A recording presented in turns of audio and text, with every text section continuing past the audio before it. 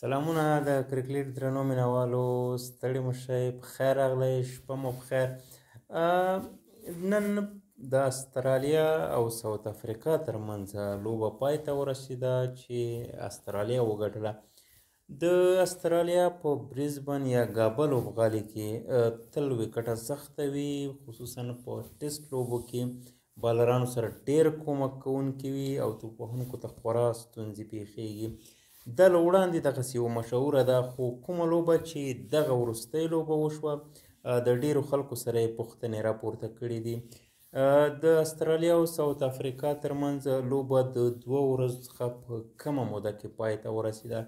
یوازې شاوخوا پنځه سیشنه لوبه وشوه او پکې څلور دېرش ویکټې ولوېدې په وروستۍ پاړۍ کې چې د استرالیا وه د څلور دېرشو هدف د پوره کولو لپاره بیا هم د دوی څلور ویکټې ولوېدې له لوبې وروسته د استرالیا پخواني لوبغاړي رکي پانټینګ وویل چې د برزبن یا ګابا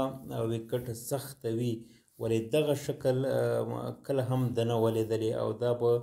حیران نشي که چیرې هم د کرکټ نړیواله شورا د ګابه لوبغالی ویکټ ته هغه منفي نمرې ورکړي نو د ده ترڅنګ د سویلي افریقا کپتان ډین الګر هم په دې اړه څرګندونې کړې دي او ویلي دي چې سمه ده دواړو خو ته ښه بالینګ اټیک و ښه فاست بالران و خو ډیر د ده په وینا چې ډیرو خلکو هیله لرله چې دغه لوبه وګوري ولې دا په دې معنا نه چې یوازې دوه ورځې یا هم یوه نیمه ورځ یې وګوري د ده په خبره چې باید پنځه ورځو پورې دغې لوبې دوام موندلی وي نو په ګابه کې د دغې لوبې په اړه هندیان هم نیوکې کوي دوی وایي چې که چیرې همدغسې یوه لوبه په هند کې شوې وي نو له ګوډ ګوډ څخه به غبرګونونه وي او ویل کېدل به چې هند د ځان لپاره یو کډې جوړ کړي خو کله چې په استرالیا کې بیا دغه سی وڅ کېږي نو نیوکې نه وي موجودې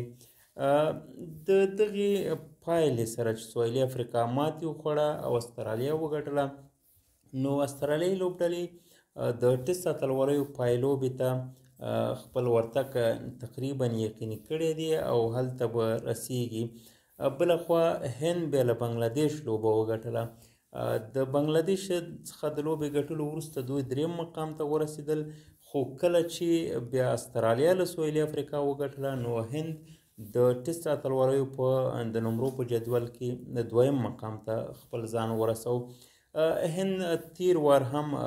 د ټیسټ اتلوریو پایلوبې ته رسېدلې لوبډله وه خو په پایلوبه کې له نیوزیلند ماتې وخوړه دا ځل هم چانس لري د ساوت افریقا په ماتې له بنگلادیش څخه د دوی په ګټې دغه چانس لا ډیر شو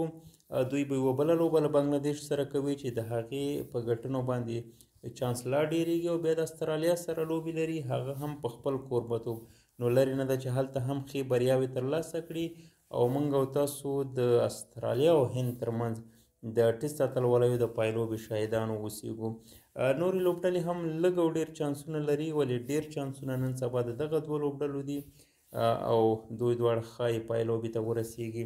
دا چې پایلوبه به څنګه کیږي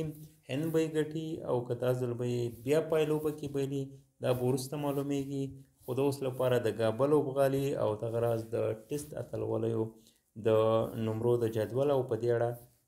دغه خبرې وي تر بیا ښه وخت ښه شپه